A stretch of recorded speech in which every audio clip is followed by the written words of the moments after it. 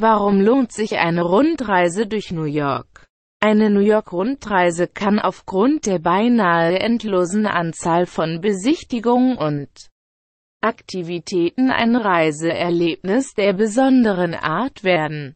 Welche Sehenswürdigkeiten bietet New York? Während deiner New York-Rundreise kannst du deinen kulturellen Horizont auf unterschiedliche Art und Weise erweitern. Neben einer Vielzahl von Museen und Denkmälern solltest du auch den Besuch von zumindest einer der vielen Aussichtsplattformen in Erwägung ziehen. Welche Grünflächen und Parks bietet New York? Wie bereits kurz angesprochen, ist der Central Park wohl die einzig nennenswerte Grünfläche für sportliche Freizeitaktivitäten.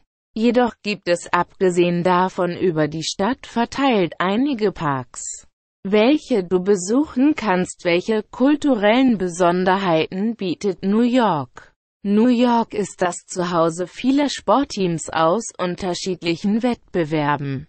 Unabhängig davon, wie sehr du dich für Sport interessierst, ist ein Besuch einer New Yorker Sportveranstaltung ein aufregendes Erlebnis.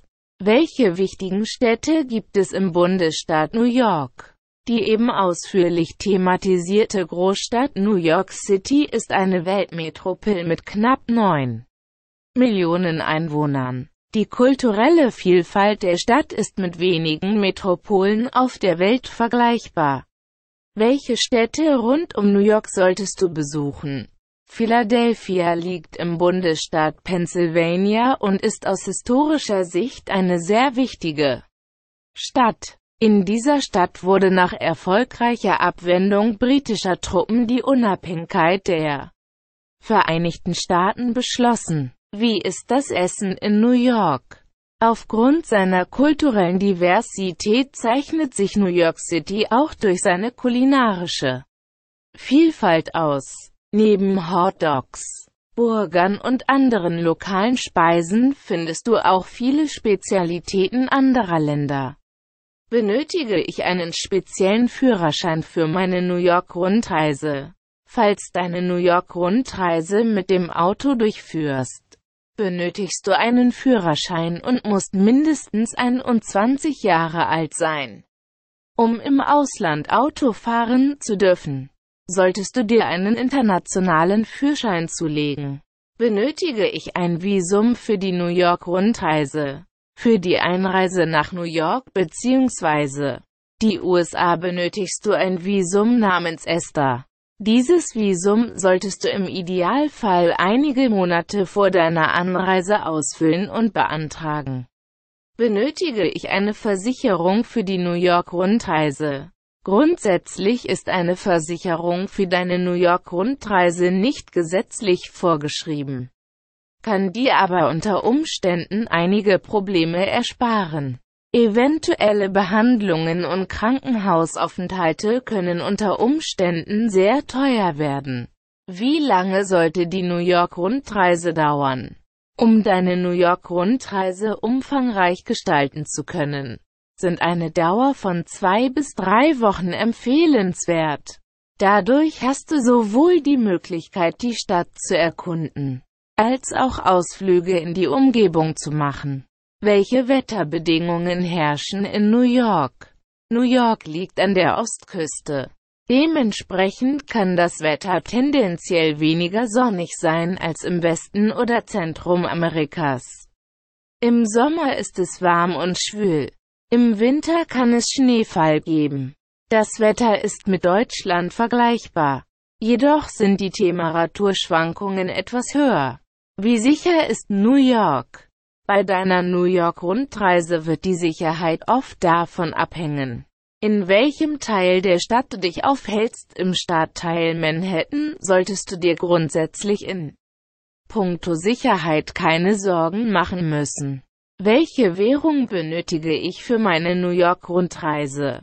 In New York, ebenso wie in ganz Amerika, ist der US-Dollar die zu benutzende Währung. Der Wert des Dollars liegt im Normalfall knapp unter dem des Euros.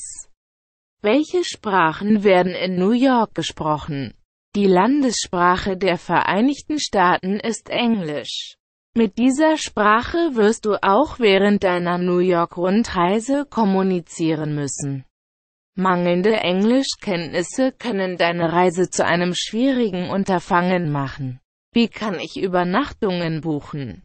In allen Stadtteilen New Yorks wirst du Hotels unterschiedlicher Klassen vorfinden. Hierbei erfolgt die Berechnung in der Regel pro Zimmer und nicht pro Person. Gibt es Mietwegen in New York? In New York gibt es sogenannte Stadtbüros. Dort kannst du nach Bedarf ein Fahrzeug für deine Rundreise mieten. Je nach Fahrzeug musst du unter Umständen mit einem Aufpreis rechnen. Kann ich meine New York Rundreise auch mit dem Bus machen? Während deiner New York-Rundreise kannst du selbstverständlich auch den Bus als Transportmittel nutzen. Im Vergleich zum Auto kann dies jedoch eine deutlich teurere und unflexiblere Variante darstellen. Kann ich aus New York auch Schiffsreisen buchen? Auch Schiffsreisen kannst du aus New York buchen. Besonders für beliebte Reiseziele wie Miami oder die Bahamas gibt es eine Vielzahl von Angeboten. Was muss ich bezüglich Rauchen und Trinken in New York beachten? Der Konsum alkoholischer Getränke ist in New York, ebenso wie in ganz Amerika, erst ab 21 Jahren erlaubt. Unabhängig davon, ob du im Restaurant bestellen oder im Supermarkt einkaufen möchtest solltest du einen Ausweis bei dir tragen.